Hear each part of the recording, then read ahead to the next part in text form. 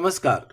Myself Parteek and in this session we are going to discuss the concept of implicit cursor.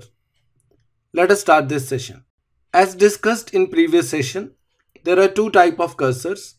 One is implicit cursor and second is explicit cursor. In this session we are going to discuss implicit cursor. Implicit cursors are declared by PLSQL implicitly for all SQL statements. They are opened and managed by Oracle Engine internally. Since this is managed by Oracle Engine internally, so there is no need to open and manage this by the programmer. These operations are performed automatically. It is important to note that the name of implicit cursor is SQL. As we have discussed in the last session, that cursor is a memory area that Oracle Engine uses for the internal processing for executing and storing the result of SQL statement. So whenever a user issue insert, update, delete or single row select statement, the information about these statement is stored in implicit cursor. And implicit cursor attributes can be used to access this information about the status of last insert, update, delete or single row select statement.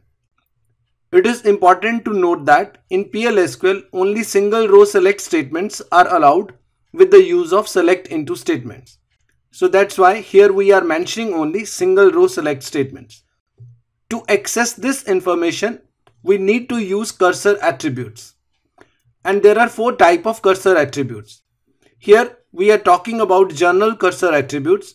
It means these cursor attributes are available for both implicit as well as for explicit cursors.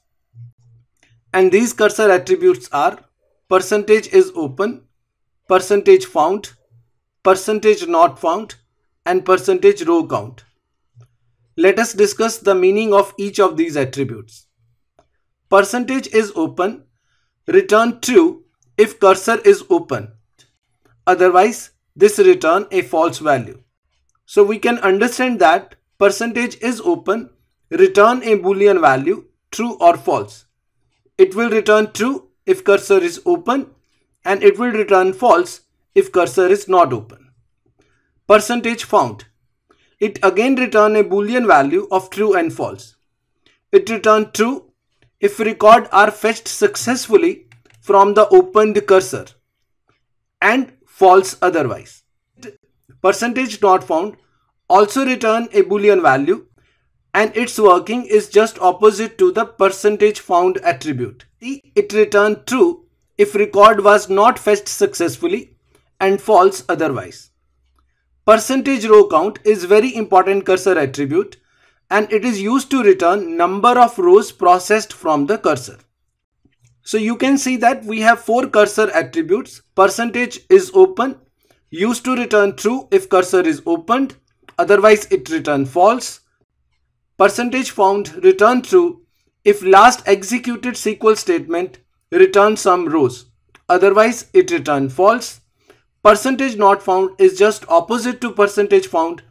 It return true if last executed statement result no processing of record, otherwise it return true. And percentage row count is used to return number of rows processed by the last executed SQL statement. As we have discussed, these cursor attributes are common for implicit and explicit cursor. In order to use this for implicit cursor, we have to precede these cursor attributes with cursor name SQL. This is shown here. In order to use these attributes for implicit cursor, we have to precede these attributes with cursor name SQL. So SQL percentage is open is an attribute of implicit cursor and here SQL is the name of implicit cursor. So SQL percentage is open will return true if cursor is open otherwise it return false. It is important to note that when we execute a SQL statement, implicit cursor is opened internally automatically by the Oracle server. Then it is processed and it is also closed automatically when the execution of SQL statement is completed. So when we check its value, after the execution of SQL statement, it will always return false because this cursor is open only during the execution of SQL statement. When execution is completed, this cursor is closed. So when we check its value in next statement, then cursor will be already closed. So it is important to note that SQL percentage is open always return false because Oracle automatically closes an implicit cursor after executing its SQL statement. The next attribute is SQL percentage found. It will return true if most recently executed DML statement like insert, update, delete or select was successful. Otherwise, it returned false. SQL percentage not found is just opposite to SQL percentage found. So this will return true if most recently executed DML statement was not successful. Percentage row count will return the number of rows affected by last executed insert, update, delete or single row select statement. We will see the demonstration and use of these implicit cursor attributes in next video session. To read more on this, you can refer my book Simplified Approach to DBMS which is available on Amazon.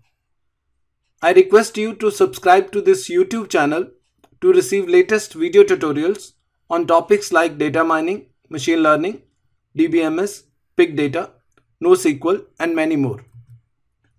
To learn SQL in a simplified way, you can join this free online course on SQL at Udemy platform. I have also authored books on data mining and data warehousing, NoSQL, beginning with SQL and PLSQL for beginners. All these books are available on Amazon platform. To read more about this, you can refer my website parteekbhatia.com. Thanks for watching this video.